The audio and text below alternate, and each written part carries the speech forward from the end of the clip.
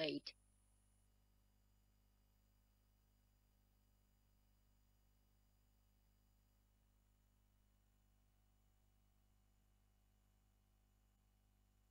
Và xin chào mừng toàn thể quý vị và các bạn chúng ta cùng quay trở lại với sân bóng đá Gia Phú quận Bình Tân để cùng theo dõi diễn biến hai lượt trận cuối cùng của giải bóng đá Gia Hữu cúp MNC Open lần thứ hai năm 2023. Đây là giải đấu kỷ niệm 10 năm ngày thành lập công ty 16 tháng 3 năm 2013, 16 tháng 3 năm 2023. Và trên màn nhỏ của tất cả quý vị và các bạn đó là trận tranh huy chương đồng cuộc đối đầu giữa hai câu lạc bộ BCI FC và Thiên Hưng FC. Đây là hai đội bóng đã không gặp may ở lượt trận bán kết khi mà hai đội bóng đã để thất thủ ở lượt trận bán kết vào ngày chủ nhật tuần trước. Và lần này họ sẽ còn danh hiệu để cạnh tranh đó là chiếc huy chương đồng và bây giờ thì trận đấu tranh hạng 3 cũng đã được bắt đầu. Và đến với trận đấu ngày hôm nay các cầu thủ BCA họ vẫn ra sân với bộ trang phục quen thuộc, bộ trang phục áo cam quần xanh đen. Và trong hiệp thi đấu đầu tiên, BCA họ đang bảo vệ khung thành bên phía tay phải màn nhỏ của tất cả quý vị và các bạn. Đội hình của BCA Họ có các cầu thủ mang áo số 2 Văn Nam, số 3 Hoàng Anh, số 4 Đình Đại, số 7 đó là Danh Thoại, số 9 Lê Tân, số 10 Quang Trường, số 11 Quang Vinh, số 12 Minh Thắng, số 14 Công Dũng, số 16 Quang Đức, số 18 Quang Trường, số 19 Hữu Phong, số 20 Trung Hoài, số 8 Thanh Châu và số 0 cầu thủ chưa được đăng ký số áo đó là Quốc Duy. Các cầu thủ bên phía đội bóng Thiên Hưng FC họ ra sân với bộ trang phục màu đỏ đen và trong hiệp thi đấu đầu tiên, Thiên Hưng họ đang bảo vệ khung thành bên phía tay trái màn nhỏ của tất cả quý vị và các bạn. Đội hình của Thiên Hưng FC họ có các cầu thủ mang áo số 2 đó là Trường Tin, số 5 Đông Hân, số 6 đó là Minh Tuyển, số 7 Trí Tài, số 11 Trung Tín, số 12 Thiện Toàn, số 13 Bầu Trí, số 14 Nhất Định, số 17 Thanh Tuyền, số 18 Tân Thức, số 20 Văn Liêu, số 21 Thạch Vị, số 22 Đức Hy, số 23 Văn Đức, số 29 Ngọc Trí, số 30 Đình Duyên. Và số 39 đó là Lê Quang Na.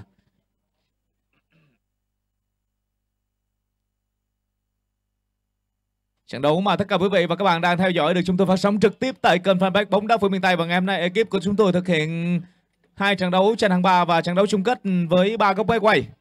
Và tất cả quý vị chúng ta có thể truy cập vào fanpage bóng đá phương miền Tây để có thể theo dõi trực tiếp trận đấu này ở định dạng Full HD 1080. Và khi theo dõi trận đấu các bạn cũng nên dành ra vài giây để chia sẻ đường link của trận đấu này. Một giải bóng đá giao hữu rất ý nghĩa và bổ ích để tăng cường sự kết nối dành cho tất cả các đơn vị tài trợ, ban tổ chức cũng như là các anh em tham gia đội bóng ở giải đấu năm nay.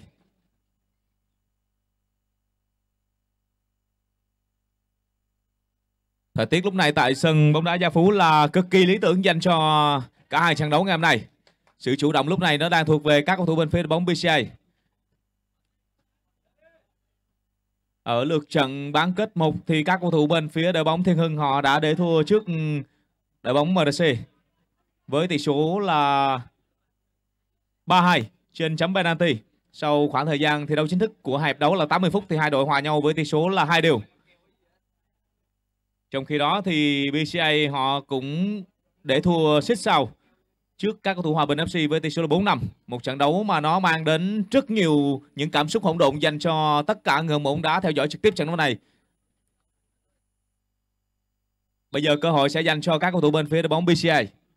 Một cú ra chân nó không thật sự quá căng nhưng nó đã mang về bàn thắng mở điểm dành cho các cầu thủ bên phía đội bóng BCA. Và dứt điểm của Văn Nam, cầu thủ mang áo số 2. Và dứt điểm quá hiểm hóc và thủ thành bên phía đội bóng BCA đã phải vào lưới nhặt bóng ở trong ít phút đầu tiên của hiệp thi đấu thứ nhất này. BCA đoàn cơ sở A07 chi đoàn 7 Bộ Công an.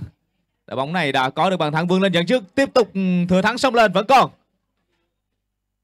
Nỗ lực xử lý bóng không thành công của số 19, đó là Hữu Phong. Thêm một bàn thắng nữa dành cho các cầu thủ bên phía đội bóng BCA. 2-0. 2-0 dành cho các cầu thủ bên phía đội bóng áo cam. Quá bất ngờ.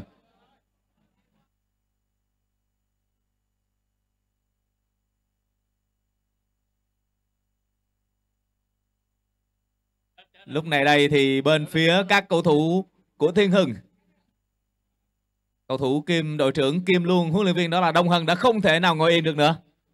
Ngày hôm nay thì Đông Hân đã không ra sân ngay từ đầu mà anh sẽ đảm nhiệm vai trò là huấn luyện viên của các cầu thủ bên phía đội bóng Thiên Hưng FC. Và bây giờ thì các cầu thủ áo đỏ họ đang bị đối thủ dẫn bàn. Rất khéo.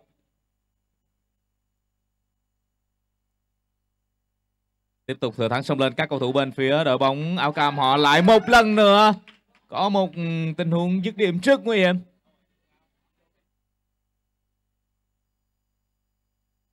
Ít chút nữa thì các cầu thủ bên phía BCA họ đã có được cho mình bàn thắng thứ ba.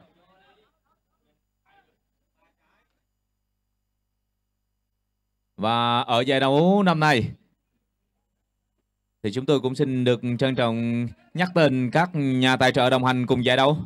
Những đơn vị góp phần thành công cho giải đấu năm nay. Thứ nhất là công ty trách nhiệm hữu hạn tư vấn Khang Huy. Đây là một công ty chuyên về lĩnh vực tư vấn thuế, tư vấn thuế và đầu tư. Tiếp theo đó là công ty NBG Việt Nam. Đây là công ty chuyên về lĩnh vực sàn thương mại điện tử. Công ty Kiến tạo Việt. Công ty này chuyên về lĩnh vực ừ, trắc địa công trình. Công ty Trường Phú về lĩnh vực ừ, cầu trục, ừ, cổng trục. Công ty Quảng Tín. Đây là công ty cung cấp thực phẩm rau củ quả sạch. Công ty giải pháp công nghệ DHB. Đây là về lĩnh vực camera máy tính. Và Tiếp theo, đơn vị đồng hành nữa đó là Sacombank. Có trụ sở ở phòng giao dịch tại Hòa Thạnh. Và vẫn tiếp tục. Và trận bóng của danh thoại. Đây là số 19 Hữu Phong. Và dứt điểm rất chuẩn xác của Hữu Phong. Như vậy là trọng tài xác định sau tình huống bóng đập vào cột dọc thì bóng đã đi vào lưới và tỷ số là 3-0 dành cho các cầu thủ bên phía đội bóng BCIFC.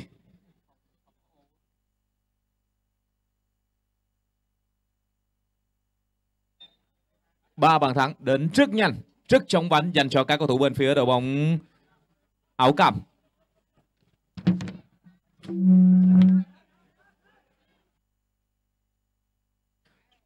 Chúng ta cũng vừa được theo dõi lại các bàn thắng của đội bóng BCFC với ba góc máy quay. Và rất hy vọng là các bạn chúng ta có thể cùng nhau chia sẻ đường link của trận đấu ngày hôm nay. Không được. Bóng vẫn tiếp tục. Tình huống xử lý vừa rồi là khá nỗ lực của cầu thủ Mao số 6. Đó là Minh Tuyển. Một cầu thủ thường được gọi với biệt danh đó là tên cá lót. Dứt điểm. Đường căng bóng vào trong chưa đến được vị trí của đồng đội. Các cầu thủ áo đỏ họ đang nỗ lực để có thể tìm kiếm bàn thắng rút ngắn tỷ số.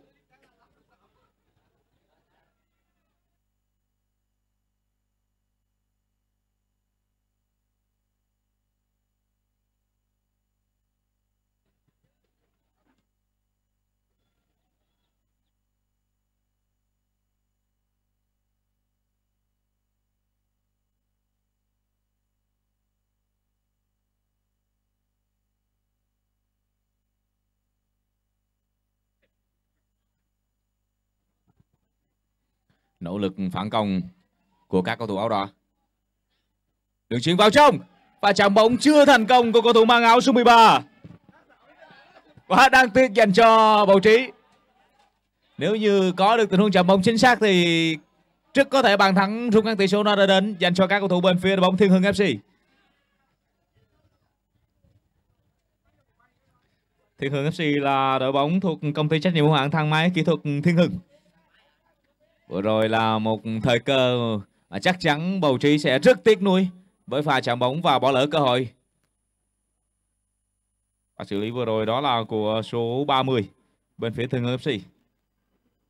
Ở trận đấu bán kết thì số 30 đình Duy đã có hai bàn thắng. Một bàn thắng ở trong thời gian thi đấu chính thức của trận đấu và một bàn thắng trên chấm penalty. Mặc dù vậy, nỗ lực của Đình Duy ở trận đấu đó cũng không thể giúp cho Thiên Hưng thoát khỏi một trận thua. Họ đã thua với tỷ số là 2-3 trước ừ, các cầu thủ MNC ở trên chấm penalty.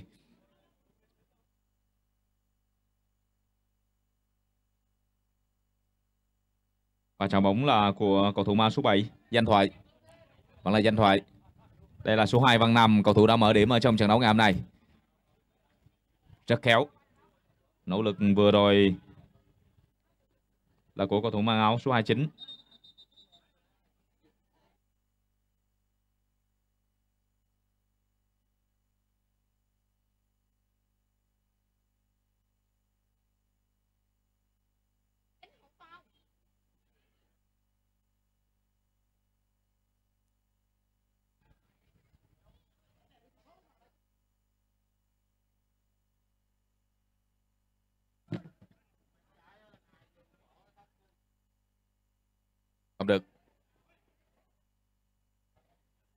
truyền có vẻ như là hơi non một chút của số 30 vị trí của Đình Duy. Cơ hội trở lại dành cho các cầu thủ bên phía đội bóng áo cam. Đường cắt lót phản công dành cho các cầu thủ đó, Đường truyền ngang lại là một đường truyền bị bắt bài Văn Nam. Đường truyền khe. Rất hợp lý. Các cầu thủ áo cam bên phía đội bóng BCA họ đang chơi rất tự tin. Danh thoại. còn là danh thoại.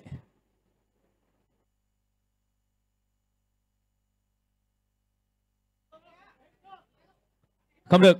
Và trận bóng có phần hơi thiếu cảm giác, nhưng lúc này bóng vẫn trong tầm kiểm soát của các cầu thủ bên phía đội bóng BCA. Dứt điểm. Cơ hội trở lại. Đình Duy. Chưa có quá nhiều khoảng trống và các cầu thủ bên phía đội bóng đỏ, họ cũng chưa kịp thời dâng cao đội hình. Bầu trí. Vẫn còn. Bóng vẫn tiếp tục. Văn Nam và chuyển trạng thái của các cầu thủ bên phía đội bóng cầm chẳng có gì phải vội cả. Dứt điểm từ xa. Bóng đã đi hơi cao một chút so với khung thành của thủ môn đối phương. Và ra chân của hữu phong.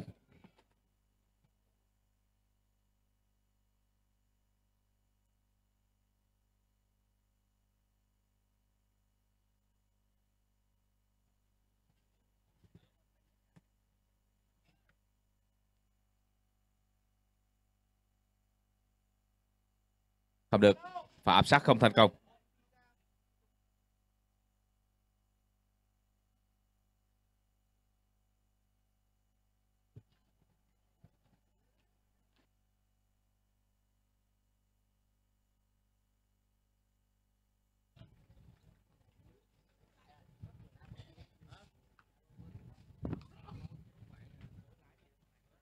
Không được. Bóng đã đi vọt xa. Nỗ lực ra chân vừa rồi, đó là của cầu thủ áo số 20. Vị trí của Văn Liêu.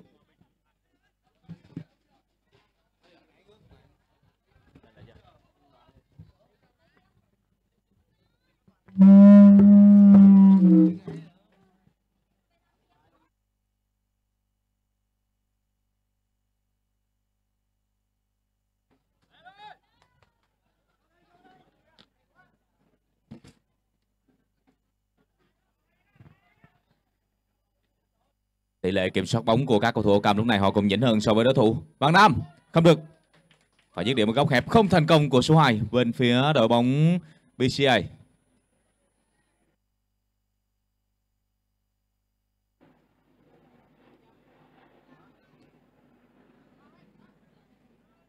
Các cầu thủ bên phía đội bóng áo đỏ, bên phía đội bóng Thiên Hưng FC họ cần có được bàn thắng trong khoảng thời gian này. Ở trận đấu tranh huy chương đồng thì Mỗi hiệp đấu sẽ kéo dài 35 phút. Mặc dù thời gian nó còn khá dài dành cho các thủ đỏ, nhưng lúc này họ vẫn chưa thể xuyên thủng được màn lưới của thủ môn đối phương. Bảo Trí, không được. Và xử lý vẫn chưa thành công của Bảo Trí.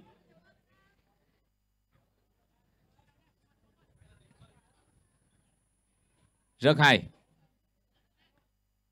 Văn Nam vẫn đang có những tình huống xử bóng, có những tình huống xử lý bóng rất khéo léo.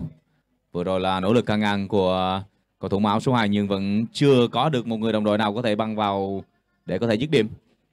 Sự điều chỉnh đầu tiên bên phía các cầu thủ của đội bóng Thiên Hưng FC. Số 22 lúc này sẽ được tung vào sân. Vị trí của Đức Hy.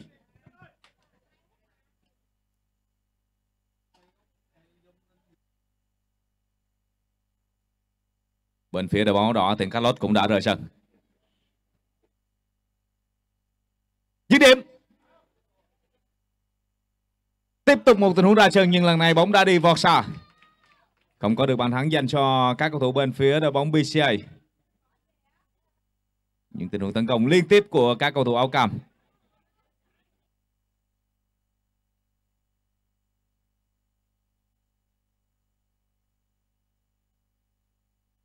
Ở những pha bóng quyết định thì lúc này đây các cầu thủ của đội bóng Thiên Hưng họ vẫn chưa thể có được những tình huống xử lý thật sự là chuẩn xác.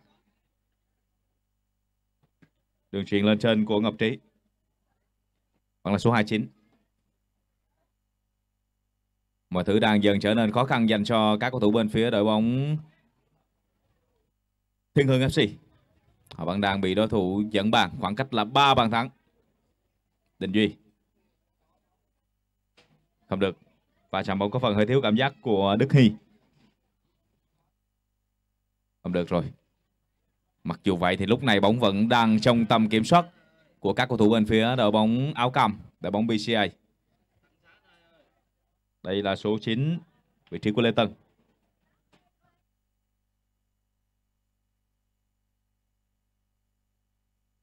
Văn Nam. Văn Nam, chân trái. Và dứt điểm vẫn chưa thành công. Sẽ có một ừ, quả phát bóng lên. Không, có vẻ đó là một tình huống đá phạt góc dành cho các cầu thủ bên phía đông áo cam. Đội bóng BCI sau pha dứt điểm không thành công của số 2 Văn Nam.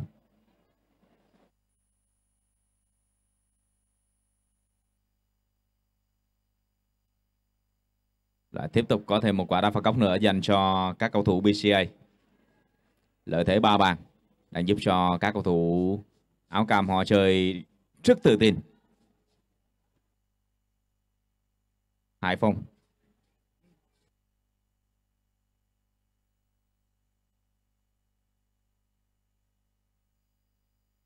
Dứt điểm. Và dứt điểm không thành công.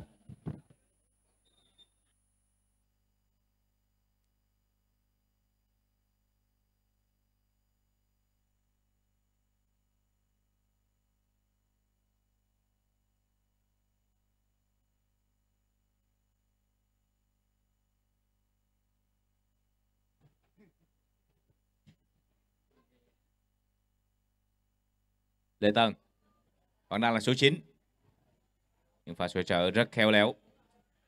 Vẫn còn.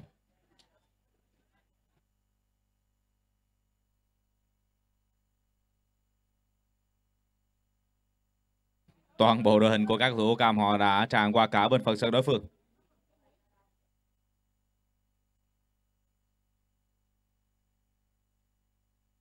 Các cầu thủ bên phía Thiên Hưng họ vẫn đang phải thi đấu theo lối đá và theo nhịp độ của đối phương lúc này.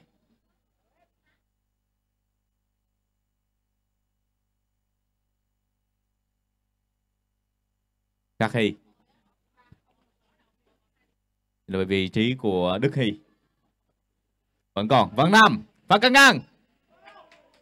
Rất đáng tiếc là không có được bàn thắng tiếp theo dành cho các cầu thủ BCA pha phối hợp khá đẹp mắt của các cầu thủ cam Đình Duy. Quá khó khăn dành cho số 30 của Thiên Ngân. Không có quá nhiều đồng đội có thể kịp thời hỗ trợ. Rất kịp thời có một pha thoát racing.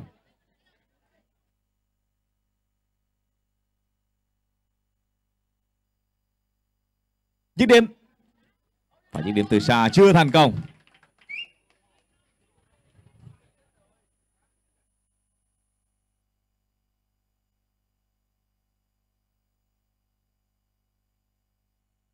Vẫn còn. Không được. Sau khi để mất bóng thì toàn bộ đội hình của BCA họ cũng đã lùi về cả bên phần sân nhà. Và thật sự lúc này chúng ta cũng có thể thấy rằng không có quá nhiều những khoảng trống dành cho Thiên Hưng. Bóng lại về chân của BCA Danh thoại. Chẳng có gì nó khiến cho các thủ cam có thể vội cả. Khoảng cách 3 bàn một khoảng cách nó đủ để khiến cho các cổ động viên của BCA họ yên tâm. Văn Nam. Một đường vẫy bóng ngoài rất hay. Bóng tiếp tục đi trên công dọc. Quá đáng tiếc. Xích chút nữa thì lại có thêm bàn thắng nữa dành cho các cầu thủ bên phía đội bóng BCA.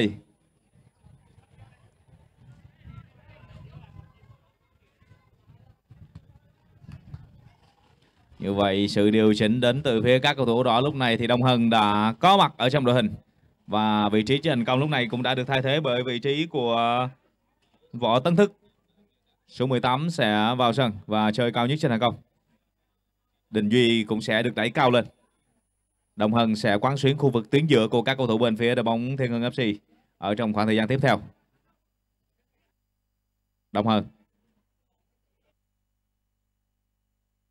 Đây là số 39 Lê Quang Na.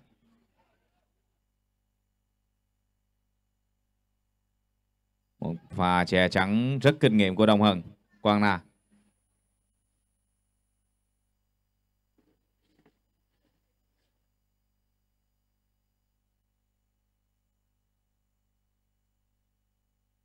Vẫn còn.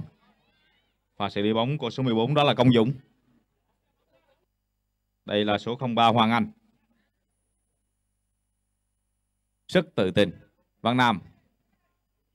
Vẫn còn. Tỷ lệ kiểm soát bóng của các cầu thủ áo cam lúc này họ hoàn toàn nhỉnh hơn so với đối thủ.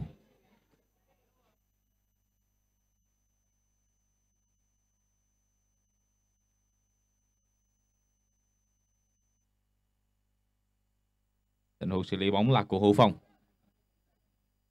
Cơ hội và những điểm chuẩn xác, đó là tình huống làm bàn của số 14 vị trí của Công Dũng. 4-0 dành cho BCA. Chúng ta sẽ cùng theo dõi lại pha phối hợp rất đẹp mắt của các cầu thủ bên phía đội bóng cầm. Pha xoay trở về chiếc điểm một chạm tốt của Công Dũng.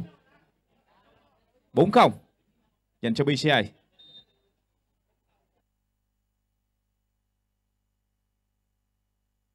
Quá khó dành cho thủ thành của Thiên Hưng trong pha bóng này.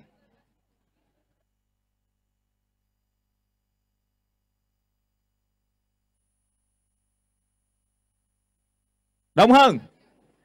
Cú ra chân chưa thành công của cầu thủ Mao số 5. Đồng Hân vào sân cũng sẽ tiếp thêm niềm hy vọng dành cho các cầu thủ Thiên Hưng ở trong trận đấu ngày hôm nay, nhưng họ tiếp tục phải nhận một đòn phản công. Cú dứt điểm, bóng đi vọt xa rồi. Và ra chân của Lê Tân. Cầu thủ cũng đã chơi rất nổi bật ừ, kể từ đầu trận. Mặc dù vậy, cú ra chân vẫn cần thêm một chút độ chuẩn xác.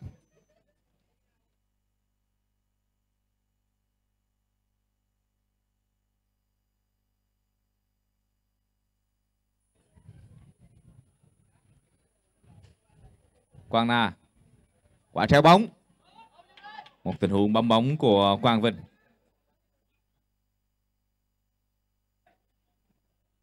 Đường chuyền ngang, Văn Nam. Cột 2. Cơ hội. Khoảng trống. Quá đơn giản bàn thắng thứ năm dành cho BCA.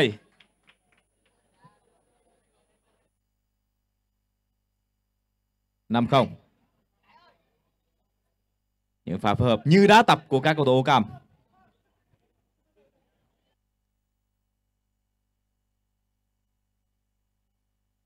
năm bàn và lúc này đây thì Đình Đại sẽ có sự sắp xếp dành cho những cầu thủ ít được thi đấu ở trong lượt trận trước và sẽ tung những cầu thủ đó vào sân thi đấu nhiều hơn. Với khoảng cách này thì rất dễ để cho Đình Đại có thể tính toán ở trong những khoảng thời gian tiếp theo của trận đấu này. Công Dũng dứt điểm. Bóng đi trên công dọc. Sự hưng phấn nó đã đến dành cho các cầu thủ BCA. Trong bóng đá là thế. Chúng ta đã cắt còi quả đá phạt lên dành cho các cầu thủ bên phía đội bóng Thiên Hưng FC.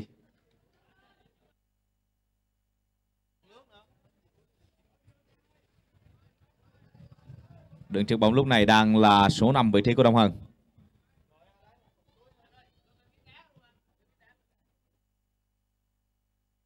Ném biên dành cho Thiên Hưng.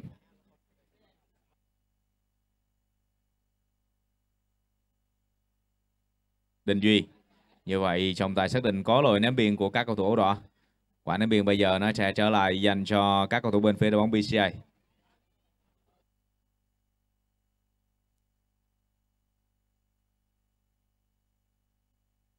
Và tranh chấp rất nỗ lực của Đông Hân vẫn còn. Trọng tài đã cắt coi rồi. Và chúng ta hãy cùng chờ xem. Rất có thể đó sẽ là một quả penalty. Nỗ lực đi bóng của Đông Hân và hai cầu thủ áo cam đã phạm lỗi. Bây giờ thì cơ hội dành cho các cầu thủ bên phía đội bóng Thiên Hưng FC. Và đứng trước bóng lúc này đang là tiền đạo mang áo số 18 Tấn Thức. Tấn Thức và thủ thành Quang Vinh. Liệu sẽ có bàn thắng rút ngắn tỷ số dành cho Thiên Hưng FC ở trong tình huống này hay không?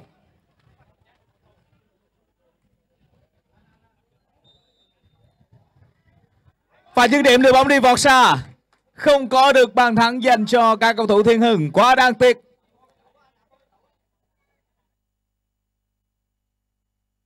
Và chiếc điểm đưa bóng đi qua cầu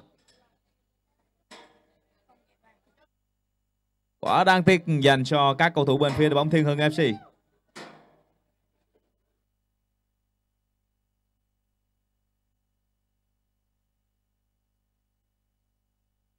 Một thời cơ để các cầu thủ áo đỏ họ có thể ghi được bàn thắng rút ngắn tỷ số.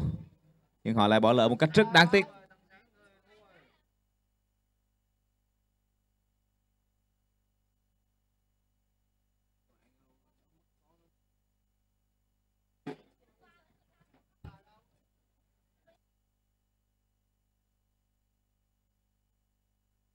Bằng Nam.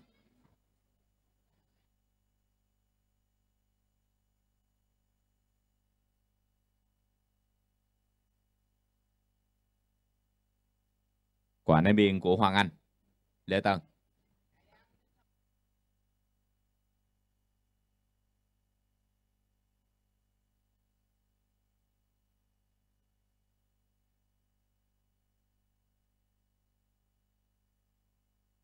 Ở trong lượt trận bán kết thì Lê Tân cũng có được một bàn thắng.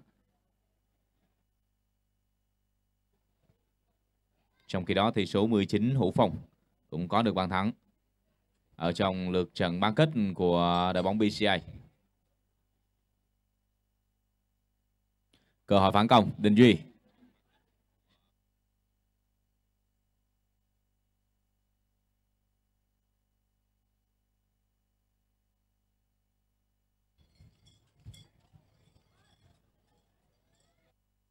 Không được. Nỗ lực xử lý bóng không thành công của Trung Tín, cầu thủ mao số 11. Sự điều chỉnh bên phía BCI.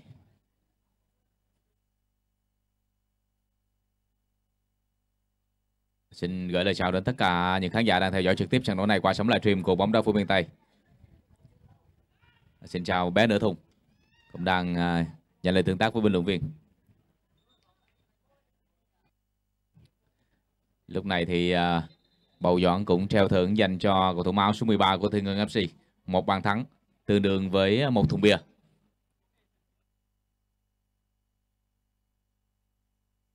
Liệu à, với phần thưởng à, đến từ Bảo Doãn thì không biết là số 13 của Thiên Hưng sẽ có thể tìm kiếm được bàn thắng ở trận đấu ngày hôm nay hay không? Nhưng mà lúc này thì Bầu Trí đã tạm thời rời sân. Đáng tiếc hơn nữa là Bầu Trí đã bỏ lỡ một cơ hội ở khoảng thời gian đầu hiệp 1. Lê Tân và tranh chấp khá nỗ lực và quyết liệt đến từ phía các thủ hai đội. Đông hơn vẫn đang là số 5. Quang Na, rất hợp lý, khoảng trống dưới đêm vẫn còn Đông hơn cơ hội dành cho số 29 rất khéo léo vẫn chưa thể có được thời cơ để các cầu thủ áo đỏ họ có thể tung ra một pha dứt điểm có lỗi rồi, đã phạt lên dành cho BCA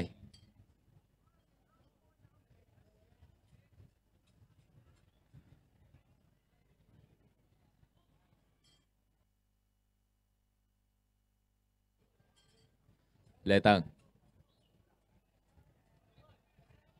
Vẫn còn, Công Dũng không được. Và thu hồi bóng tốt đến từ vị trí của Nguyễn Ngọc Trí. Quang Na.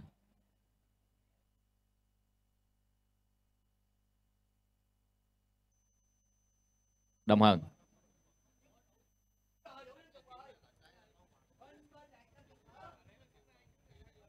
Ngọc Trí.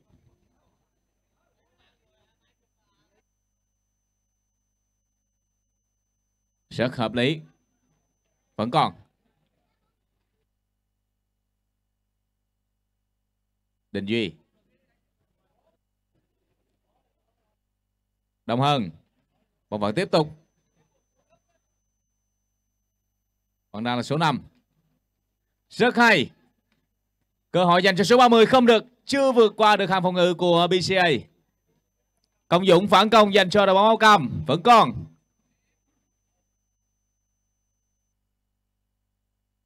Đã có lỗi rồi. Lỗi của công dũng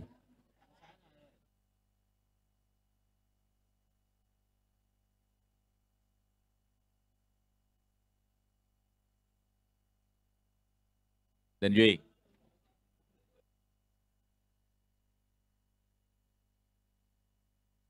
Đây là công dũng thời cơ tiếp tục dành cho số 14 và cá ngang bóng đã đi ra phía ngoài mép lưới.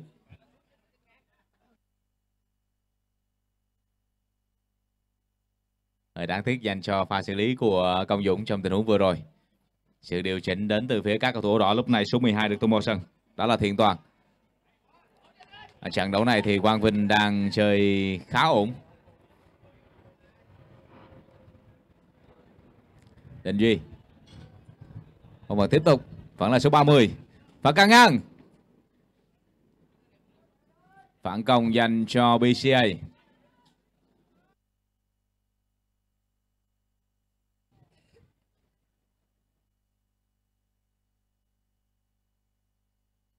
Lễ Tân Bóng đi vọt xa sau cú vung chân của cầu thủ máu số 9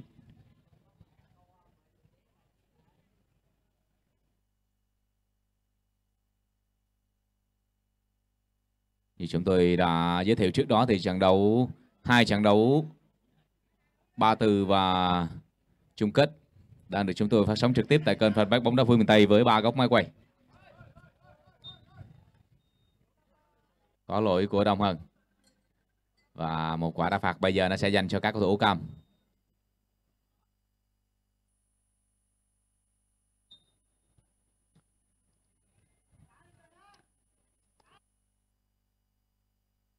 Vẫn còn. Và thu hồi bóng tốt của Đình Duy. Bạn là số 30. Dứt điểm. Vẫn còn. Thì được xử lý chuẩn xác nữa của Quang Vinh. Đúng là Quang Vinh, nó khiến cho cảm xúc của các cầu thủ BCA thay đổi liên tục. Trận đấu này thì Quang Vinh đã chơi ổn định hơn nhiều. Và căng ngang không được. Tình huống bỏ lỡ khá đáng tiếc của Thiện Toàn. Không có được một pha căng ngang trong tình huống bóng vừa rồi.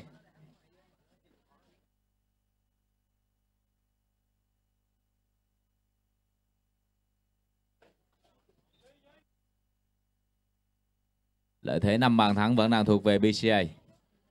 Và các thủ cam họ vẫn đang chơi rất thoải mái. Với một khoảng cách có thể nói là cực kỳ an toàn.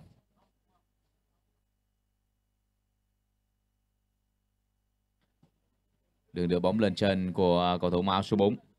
Đó là vị trí của Đình Đài. Lúc này thì Đình Đài cũng đã có mặt ở trong đội hình của BCA.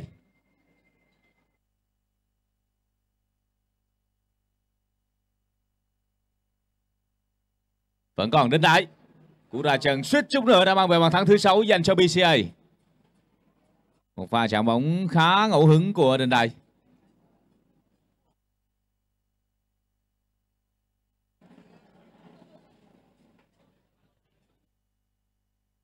Đã phạt góc lúc này sẽ dành cho BCA. Vẫn còn. Và đánh đầu hụt bóng khá đáng tiếc. Vẫn chưa thể có được bàn thắng dành cho cá nhân của Đình Đại.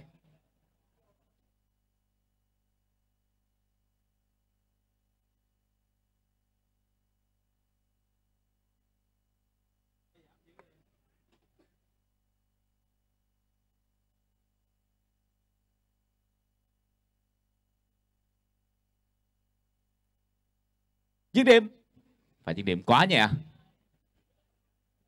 và bóng cũng đi không thật sự là chuẩn xác. Thời gian của hiệp một là không còn nhiều. Đồng hơn quá đáng tiếc nó khác nào là một tình huống chuyền bóng về dành cho thủ môn đối phương. Thì tôi không hiểu vì sao với pha xử lý hỏng ăn của đồng hân thì anh tuyển cách lót lại có một tràng pháo tay và hưởng ứng Mặc dù đây là hai người bạn rất thân trên bàn nhậu.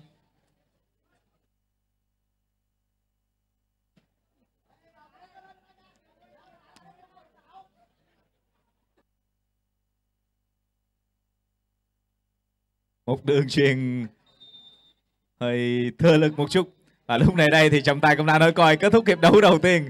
Và sau khi kết thúc hiệp 1, các cầu thủ bên phía đội bóng BCI họ đang tạo thời gian trước Tiên Hưng FC với tỷ số là 5-0.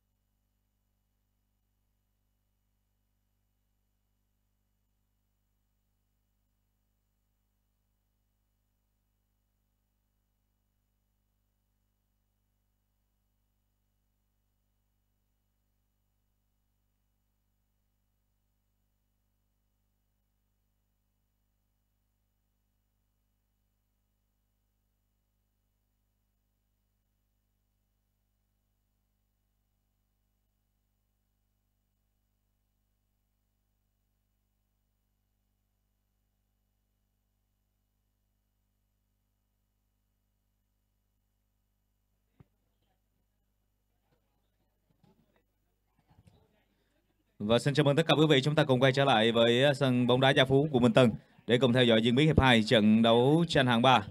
Trận đấu thuộc khuôn khổ giải bóng đá giao hữu cúp ừ, MNC Open lần thứ hai năm 2023. Đây là giải đấu nhân dịp kỷ niệm 10 năm ngày thành lập công ty ngày 16 tháng 5, xin lỗi ngày 16 tháng 3 năm 2013 và 16 tháng 3 năm 2023. Hiệp thi đấu thứ nhất tạm thời khép lại thì à, các cầu thủ bên phía đội bóng BCA họ đang tạm thời dẫn trước đối thủ Thiên Hưng FC với tỷ số là 5-0. Bây giờ chúng ta sẽ cùng chờ đợi những nỗ lực của các cầu thủ bên phía đội bóng đỏ của Thiên Hưng FC để họ có thể tìm kiếm những bàn thắng tiếp theo. Ở trong hiệp thi đấu thứ nhất, các cầu thủ bên phía đội bóng đỏ Thiên Hưng FC họ cũng được hưởng một quả penalty nhưng hơi đáng tiếc là trung phong của họ đã để lỡ cơ hội để có thể ghi được bàn thắng. Lúc này đây thì Bầu Trí tiếp tục trở lại đội hình với vai trò sẽ là tiền đạo cấm bên phía đội bóng đỏ để có thể nuôi hy vọng đoạt được giải thưởng đó là một thùng bia đến từ vị trí của Bầu Doãn.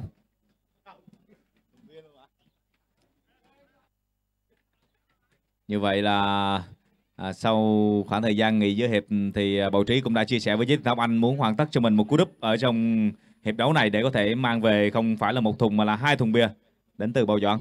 Một phần tài trợ hết sức ý nghĩa để giúp cho Bầu Trí có được động lực ở trong trận đấu này.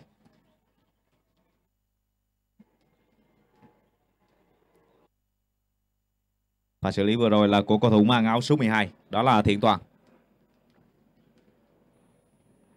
Bầu Trí.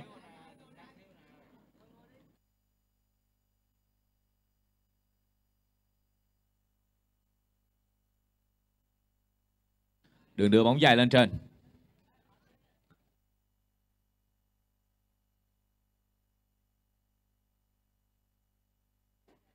Hữu Phong. Như vậy đó là một quả phất bóng lên dành cho các cầu thủ bên phía đội bóng Thiên Hưng FC.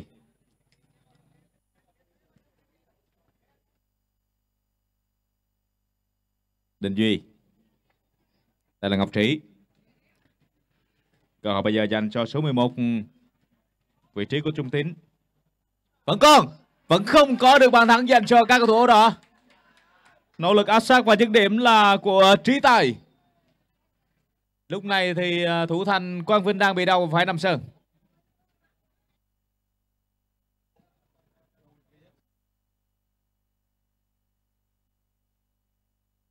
Rất may là Quang Vinh vẫn có thể tiếp tục thi đấu.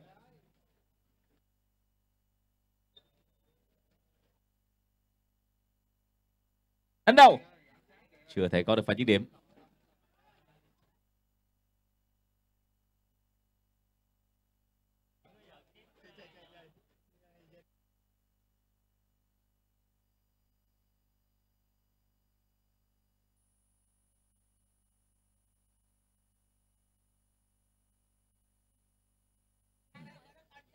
Hữu Phong.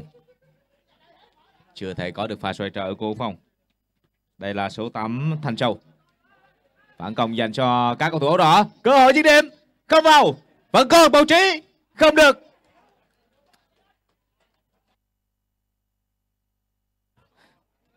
Cú áp sát rất nhanh của bầu trí. Đúng là có sự khích lệ đến từ phần thưởng đang khiến cho đôi chân của bầu trí thanh thoát hơn rất nhiều.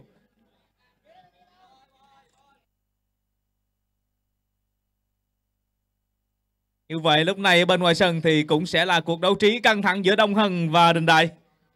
Ở giữa trận đấu thì tôi cũng quan sát thấy Đông Hân có qua lại và trao đổi với Đình Đại. Còn trao đổi về điều gì thì tôi không thật sự được biết rõ lắm. Nhưng hy vọng rằng là sau trận đấu tranh ăn ba này thì à, Đông Hân và Đình Đại sẽ không gặp nhau tại à, Gia Kỳ.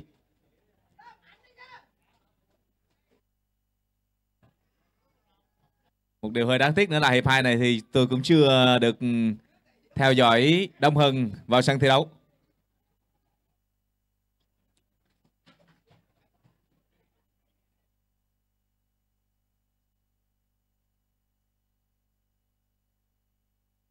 Phản công dành cho các cầu thủ bên phía đội bóng máu đỏ. Trí tài và các bóng khá hay của các thủ Cam phản công dành cho BCA Văn Nam. Văn Nam và trí tài vẫn còn. Tình huống mà hai cầu thủ tranh chấp rất quyết liệt. Và trọng tài xác định đó sẽ là một quả đá phạt lên dành cho các cầu thủ bên phía đội bóng Thiên Hưng FC.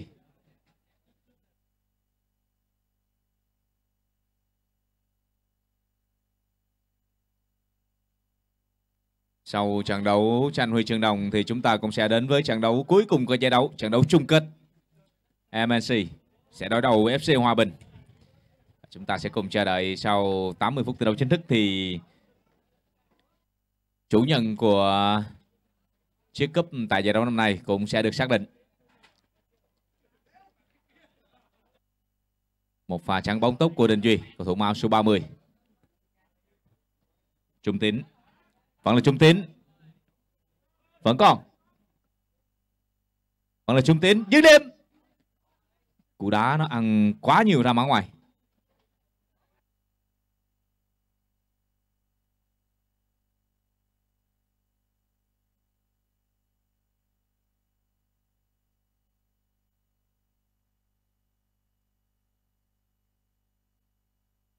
và phạt bóng lên dành cho Quang Vinh.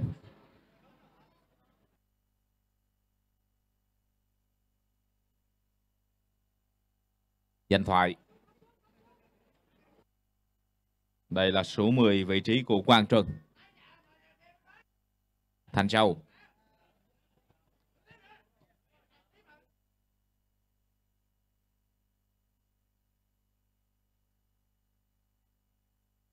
đã phạt góc dành cho các cầu thủ bên phía đội bóng BCA.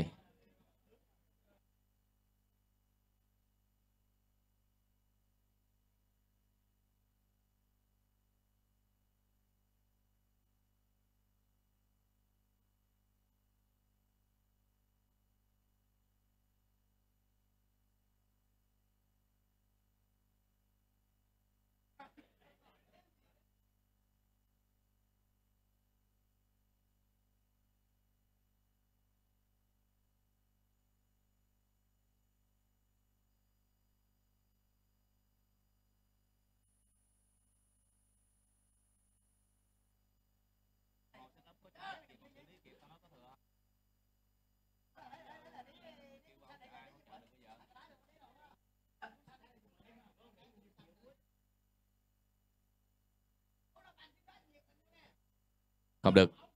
Đường truyền không vượt qua được ừ, số 30 đơn duy của Thiên Hưng FC. Chí Tài. Chí Tài. Và dứt điểm của cầu thủ mão số 7 cần phải có được thời gian để quan sát ừ, và phối hợp với đồng đội. Vẫn còn. Tình huống đưa bóng lên trên rất an toàn.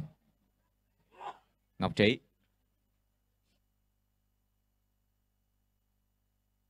Sau hai nhịp thì thủ thành của đội bóng Thiên Hưng, cuối cùng cũng đã có thể ôm gọn bóng. Đình Duy.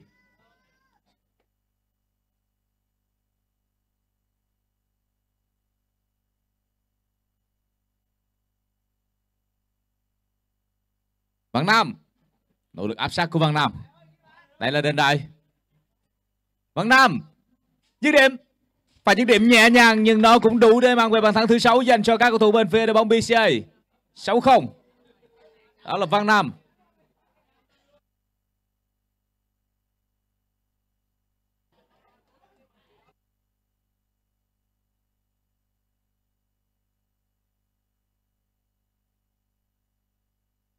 Và xử lý trước tỉnh táo của cầu thủ màu số 2.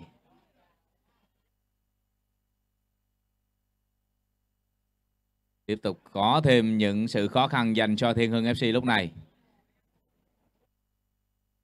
Rất hay, Văn Nam cơ hội nữa dành cho cầu thủ áo số 2 nhưng lần này thì pha dứt điểm đã đưa bóng đi không chuẩn xác. Quá đáng tiếc.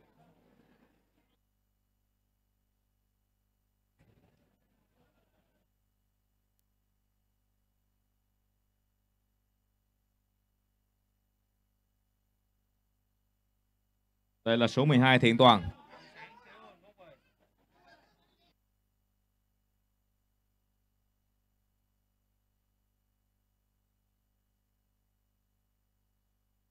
Một pha cắt bóng rất hay, pha xử lý rất nguy hiểm của Thiện Toàn.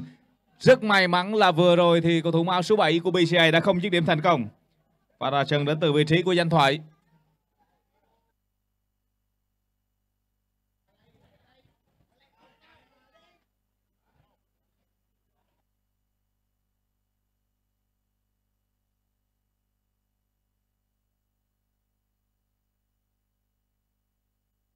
Ném biên dành cho Thiên Hưng FC.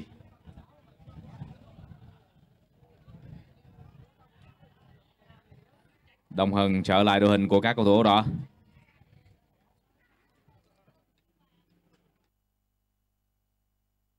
Rất nỗ lực trí tài.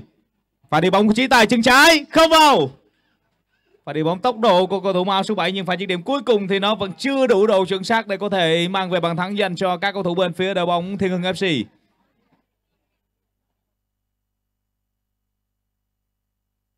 Danh thoại. Lỗi đề bóng chạm tay của cầu thủ mang áo số 7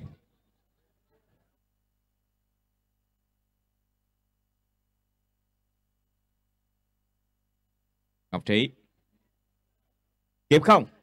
Bóng trồi quá sâu. Nỗ lực không thành công của Trung Tín. Bằng Nam.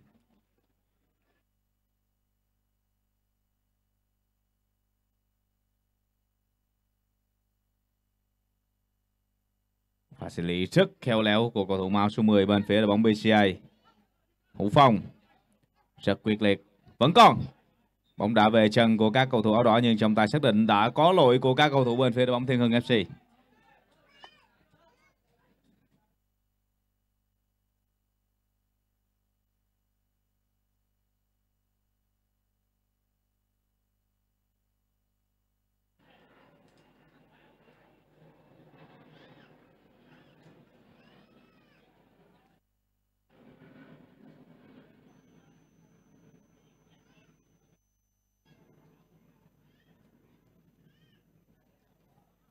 Đồng hơn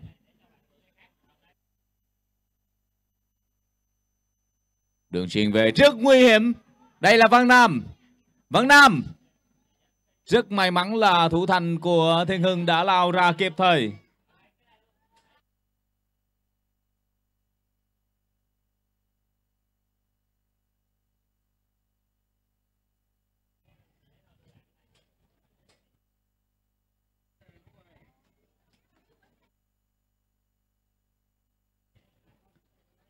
Ngọc Trí.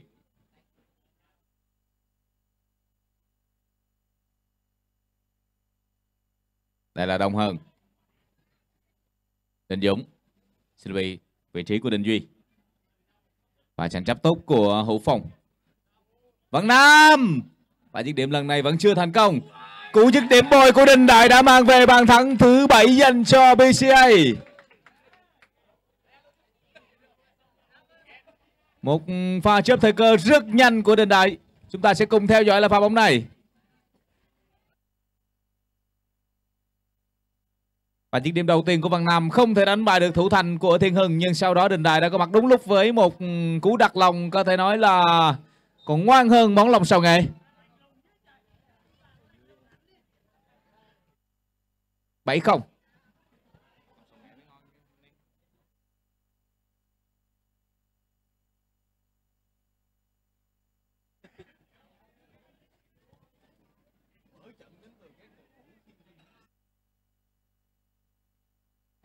Văn Nam.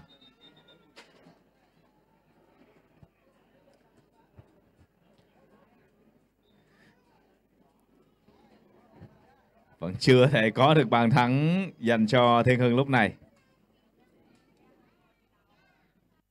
Hữu Phong.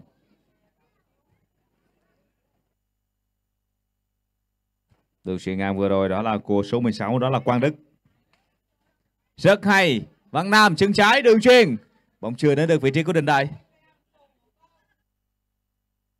Tiếp tục nỗ lực xử lý bóng vừa rồi không thành công của Minh Thắng, cầu thủ ma số 12. Và bóng rất lộn xộn.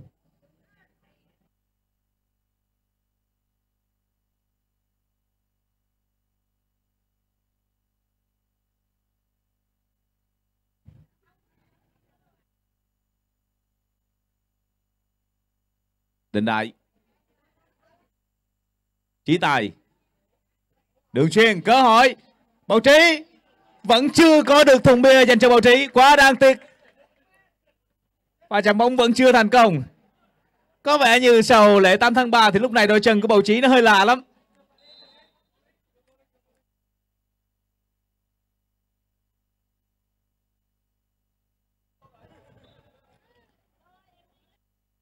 Mặc dù đã có được những phần thưởng để có thể làm tinh thần và sự hưng phấn nó tốt hơn nhưng lúc này đây, Bảo Trí vẫn chưa thể ghi bàn.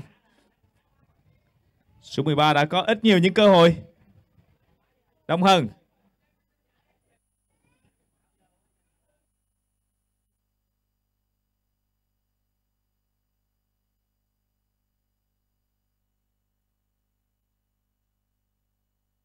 Xin gửi lời chào đến khán giả Hoàng Gia Thịnh đang gửi lời chúc chiến thắng dành cho BCA.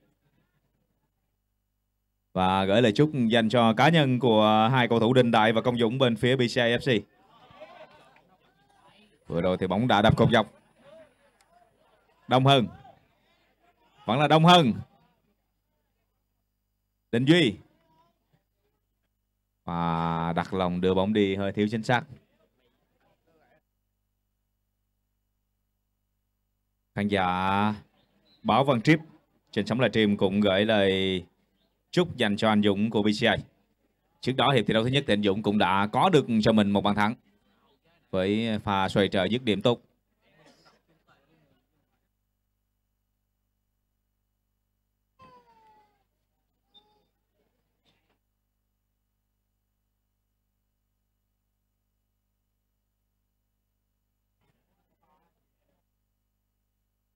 đông hơn đến Carlos.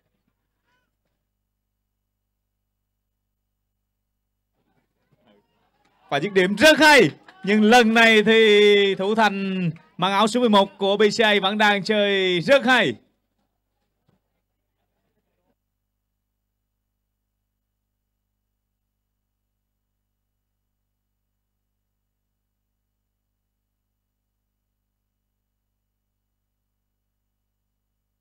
Văn Nam.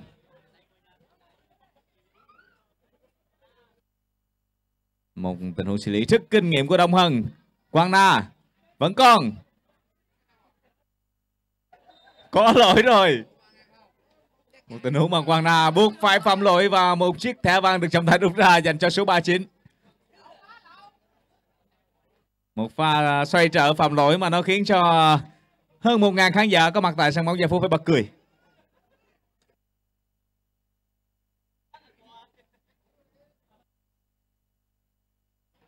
Cơ hội sẽ dành cho số 12 Minh Thắng, bên phía BCA lúc này.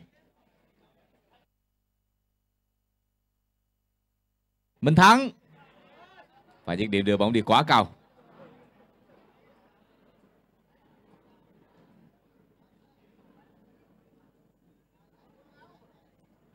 hai mươi phút của hiệp hai đã trôi qua. Và tỷ số lúc này vẫn đang tạm thời là một cách biệt ừ, rất lớn dành cho các cầu thủ bên phía đội bóng BCA. 7 bàn.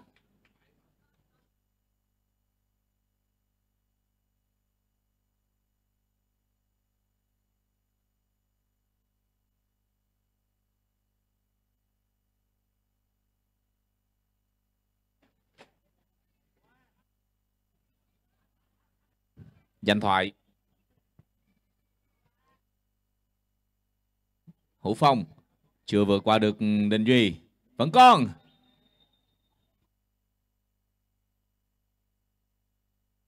Ném biên dành cho các cầu thủ bên phía đội bóng Thiên Hưng FC.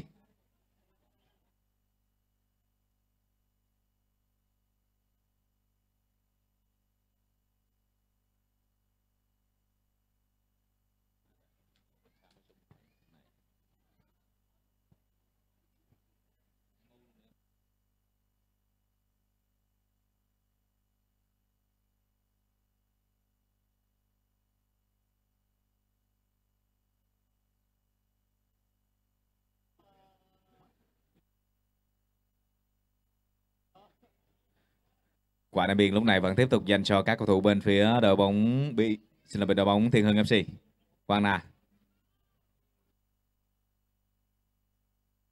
Hai đội bóng lúc này họ đang chủ động chơi rất chậm rãi.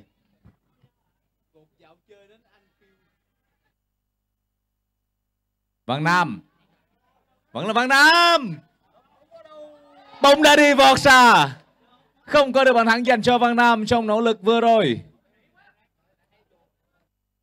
Chúng ta sẽ cùng theo dõi lại pha bóng này Dưới góc máy quay gần nhất Góc máy quay gần sau khung thành Bóng đã bật cao hơn một chút so với sàn ngang khung thành của thủ môn đối phương. Đông hơn, cú dứt điểm từ xa.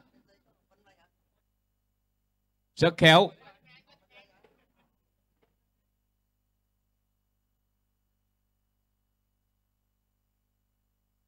Quang Na. Đây là bầu trí.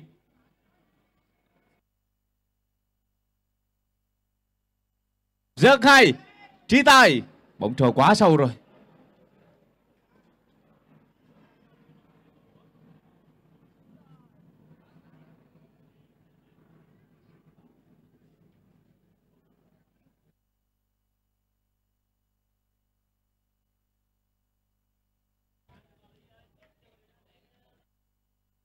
Không được, nỗ lực dừng gót không thành công. Trọng tài xác định đó là quả ném biên dành cho các cầu thủ áo đỏ. Quang Na. Nỗ lực áp sát của Văn Nam, vẫn là Văn Nam. Cơ hội dành cho các cầu thủ áo cam, đường chuyên. Vẫn còn Văn Nam.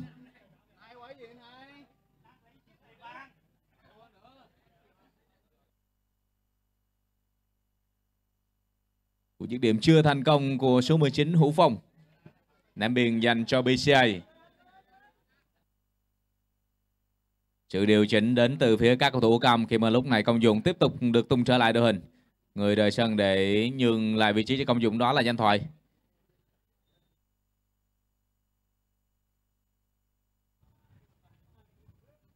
Quả theo bóng, Công Dụng dứt điểm.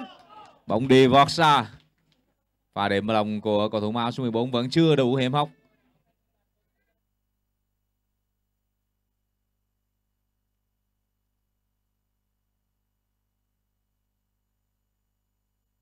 Đông hơn. Và xoay trở rất khéo của cầu thủ áo số 5 đừng cá lót không được. Đông hơn.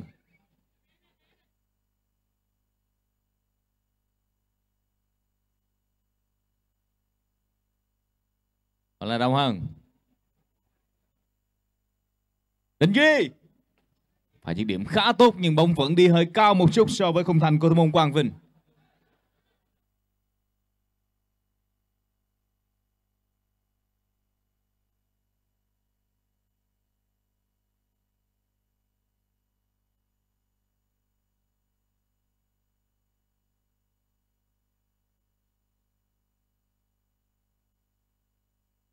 Quang Đức.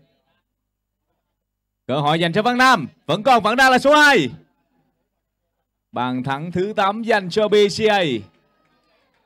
Đó vẫn là Văn Nam của hat bàn thắng của cầu thủ trẻ bên phía BCA ở trong hiệp thi đấu thứ hai.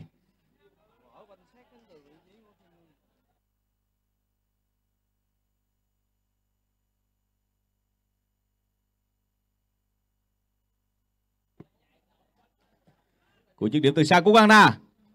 Bóng đã đi hơi cao so với khung thành của thủ môn đối phương.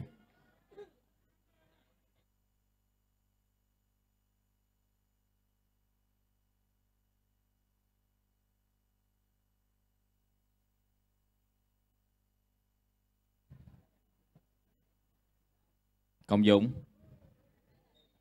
Lỗi để bóng chạm tay của số 14 Số áo làm tôi liên tưởng đến những trung phong đẳng cấp hàng đầu châu như à, Terry Henry hay là Chicharito. Đông Hân, Quang Na. Và chiếc điểm vẫn chưa thành công.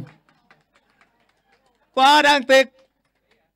Và chạm bóng vẫn là của Bầu Trí. Lúc này thì ờ, thùng bia của Bảo Doãn vẫn nằm im ở trong đại lý. Hậu Trí cần phải gấp rút có được bàn thắng khi mà thời gian của thi đấu thứ hai nó đang ủng hộ cho các cầu thủ BCA.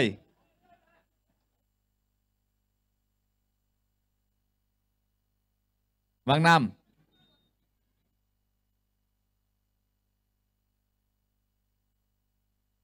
Hữu Phong. Đây là số 18. Đường chuyền ngang vừa rồi là của Quang Trường. Cú dứt điểm. Lần này thì thủ thành của Thiên Hưng FC đã chơi rất xuất sắc. Và ngã người rất chuẩn xác.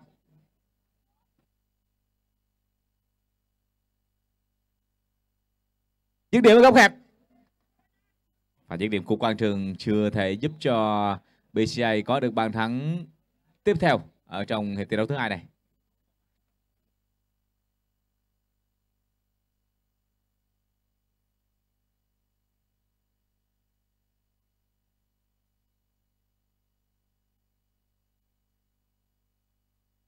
Vâng Na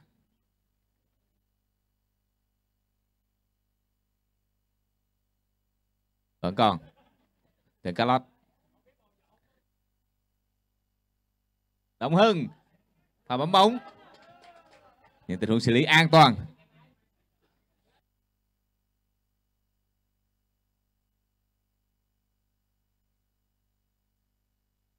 Đã phạt bây giờ dành cho Thiên Hưng FC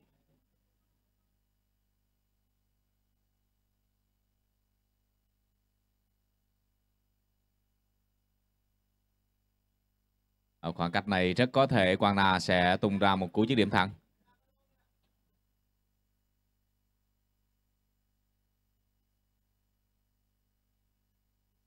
Cú dứt điểm.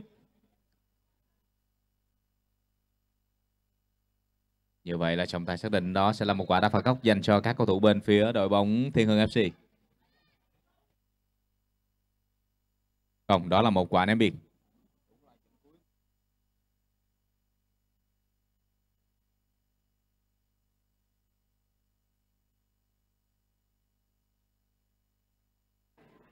Anh đâu? Công dũng, cơ hội trở lại dành cho bca cú chiếc điểm thẳng của công dũng vẫn còn hơi thiếu lực một chút. Số 14 sau khi quan sát thấy thủ thành của thiên hưng dâng lên hơi cao và anh đã quyết định tung ra một cú chiếc điểm từ xa. Quang na. Cú chiếc điểm thẳng của số 39 nhưng vẫn chưa thể đủ độ chuẩn xác.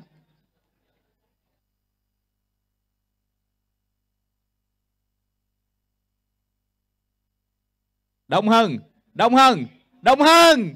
Đường chuyền ngang không được, đường chuyền ngang vẫn bị chặn lại bởi đôi chân của Quang Trường. Thiên Hưng FC họ đang thi đấu một trận đấu có thể nói là đang cực kỳ kém duyên. Họ chưa thể có được bàn thắng ở trong trận đấu ngày hôm nay. Tiếng cắt lót. Có lỗi rồi. Đã phạt lên dành cho các cầu thủ bên phía đội bóng Thiên Hưng FC. Trí Tài không được. Ném biên vẫn dành cho các cầu thủ áo đỏ. Thời gian là không còn nhiều nữa. Không được rồi.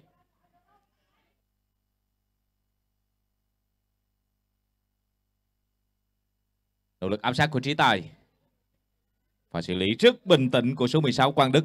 Lúc này thì Quang Đức đang được bố trí chơi thấp nhất trong đội hình của BCA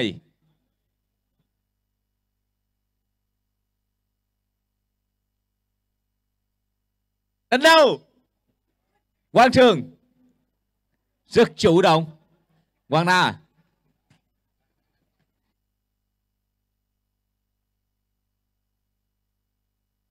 Rất khéo. Công Vinh. Xin là về vị trí của Quang Vinh. Rất khéo léo, pha xử lý cơ hội tiếp tục dành cho số 14 không được rồi. Quá đáng tiếc dành cho nỗ lực xử lý bóng của Công Dũng. Anh đã có một bước ngoặt bóng cực kỳ kỹ thuật, đông hơn. Đình Duy.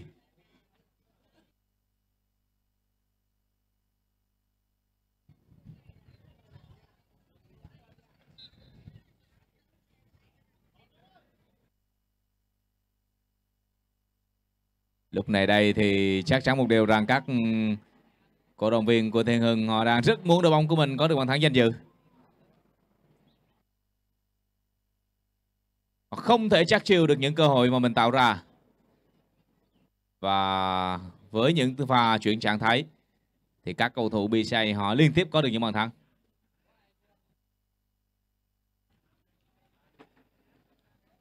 Ném biên dành cho Thiên Hưng. Quang Na. Đông Hưng. Một pha ngã người bắt ừ, vô lệ không thành công của cầu thủ áo số 5.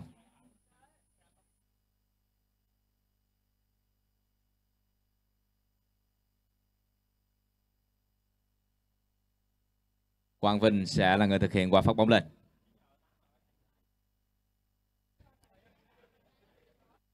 Đồng Hân.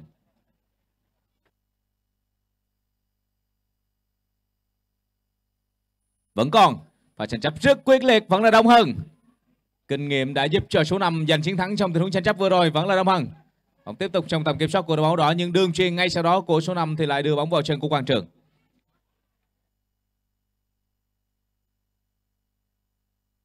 Trí Tài. Trần Cát Lót.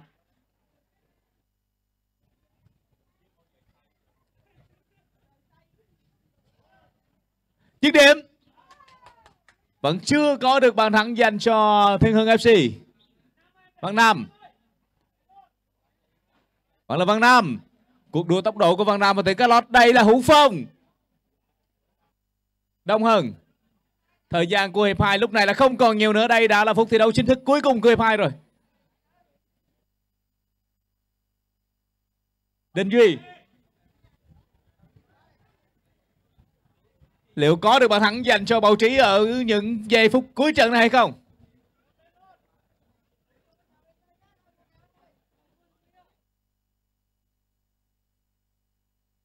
Đã phạt góc dành cho Thiên Hưng FC.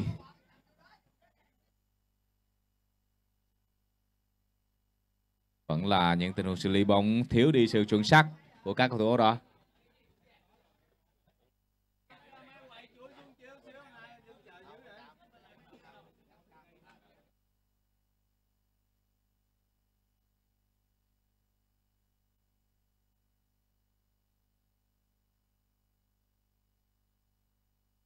bóng vẫn đi trên công dọc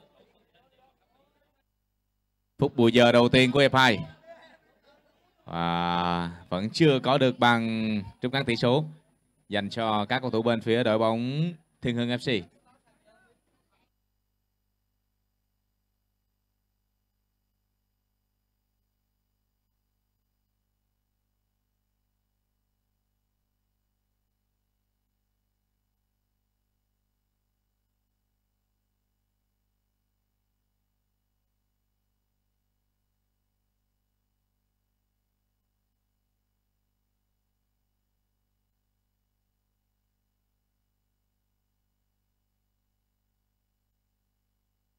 Hữu Phong.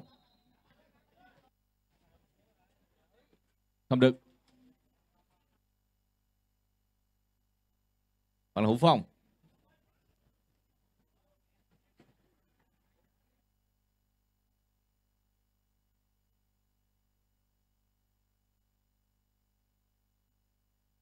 Đây là Văn Nam.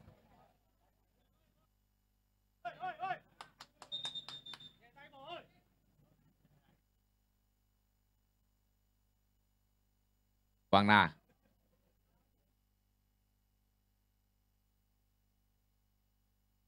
Còn là Quang Na. Quang Na.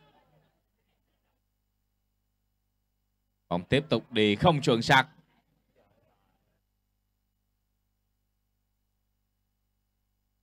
Đến cắt lót. Hữu Phong.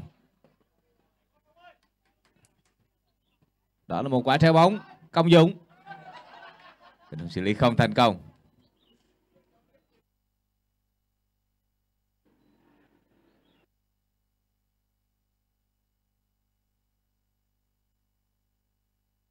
Đình Duy. Không được. Còn đây Đình Duy. Đó là một đường truyền sai địa chỉ. Sự điều chỉnh bên phía các cầu thủ đó, phút bù giờ thứ ba của hiệp hai rồi. Mọi thứ có vẻ như đang bài.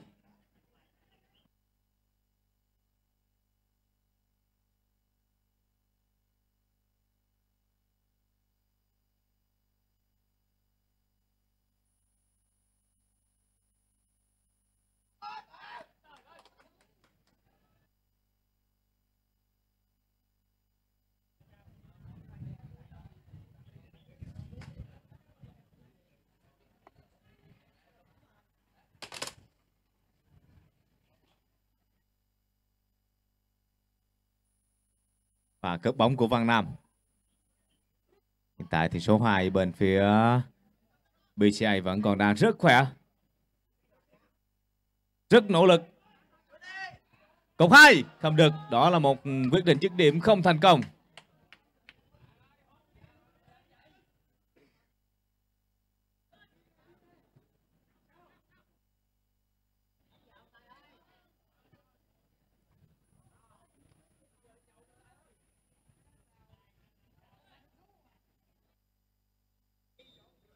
Như vậy là lúc này thì trọng tài đã nói coi kết thúc trận đấu tranh huy chương đồng.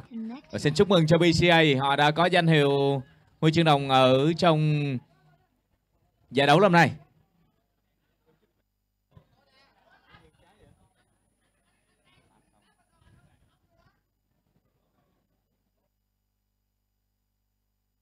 Một ngày thi đấu rất kém duyên của các cầu thủ đó. Và xin mời tất cả quý vị chúng ta sẽ cùng nghỉ giải lao cho ít phút để đến với trận đấu chung kết của giải đấu cuộc đối đầu giữa FC Hòa Bình và NMC FC.